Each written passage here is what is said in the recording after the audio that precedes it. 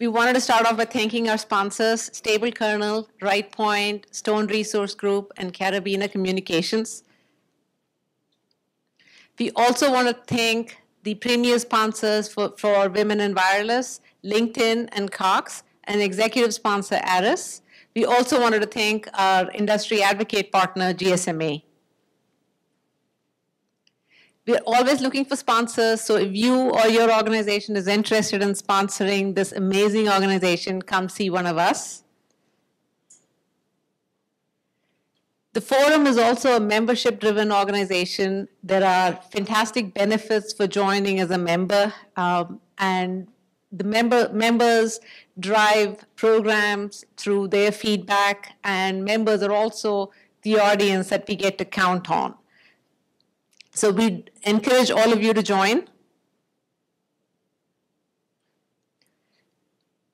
With that, I wanted to pass it on to Steve. He has a special announcement to make.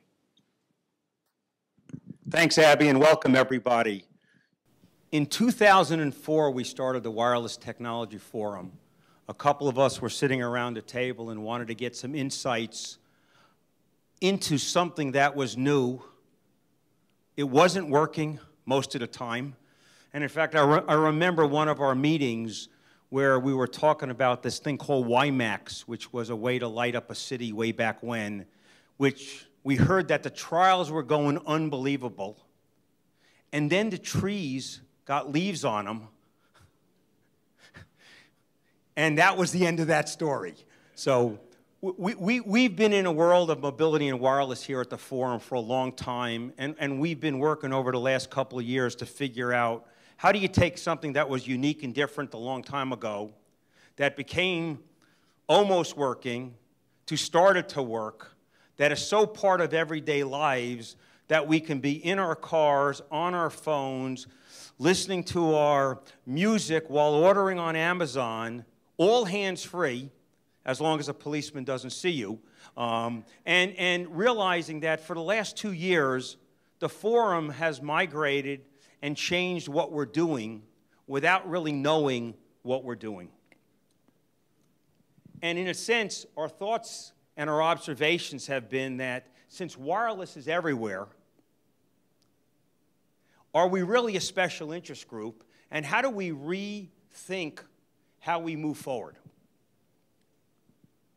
What we've concluded is, is that what we've been doing at the forum for the last couple of years without knowing it, through a bunch of uh, homework and research we've done, is that we've been really talking about things like innovation, disruptive technologies, and we've been working really hard at trying to give you all a little sense of what's coming over the horizon that we're maybe a little bit dangerous on, or don't know anything about. But we do that by bringing some incredible people onto our panels, into our education groups, into our meetings, and help share with you all some of these insights that we just don't get every day, even though we're connected the way we're all connected. So, what we've decided to do is we've decided to take the forum, and over the next couple of months, we're going to be building out a new brand. And I'm here today to do nothing more than just to share with you what our new brand is. We're going to have our meeting. We got a ton of work to do, all the details um, now, and expect us to light up come August with a new brand. To build on what we've been doing for the last couple of years and what we plan to do in the future, the Wireless Forum is going to become the Atlanta Innovation Forum. Our Women in Wireless, our special interest group is going to be Women in Driving Innovation. Our mobile marketing group is going to be Marketing Innovation Group. And our Wireless Forum Top Innovator is going to be an Atlanta Innovation Forum Top Innovator. And we have a bunch of other crazy ideas, interesting things, and we look forward to you coming out. Uh, we will confuse you over the next couple of months, I assure you, as we all do with a brand. And our goal, because we're going to set the bar real low, is we, our goal is to have less of a problem than our friends at SunTrust and BBT have just gone through. And the good news is we don't expect to be sued. So um, we just want to let you know we have some great things coming around. Some things are going to be the same.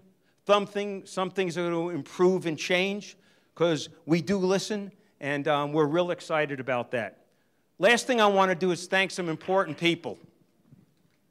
And I'll let you applaud afterwards. We put together a strategic working group, and I'm going to, I know you can read their names, but Steve, Suzanne, Caroline, David, Alicia, Elizabeth, and Addie, they have countless hours on top of their regular work at the forum, which we didn't let them give up, as well as they all have real paying jobs. So, uh, first of all, we want a special thanks there.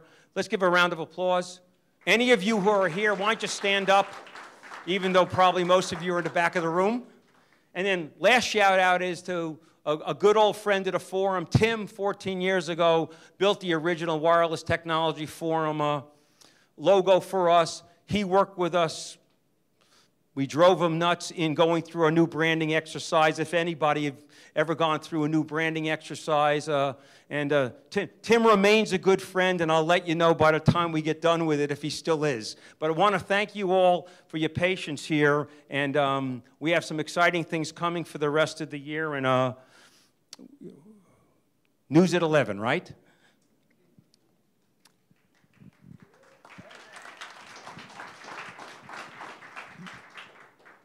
And just kind of some housekeeping, our next event is going to be August 15 here at the Village, third Thursday.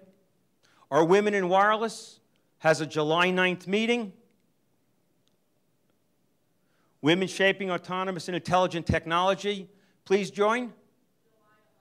July 11. Disregard the slide. And you'll notice how much I argued about that one. Um, July 11th, we apologize, and the notice will go out correctly.